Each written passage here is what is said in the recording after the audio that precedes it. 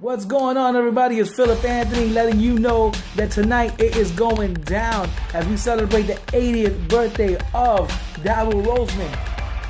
Don't look at me like that. we also got great comedians in the house. We got Omar Thompson.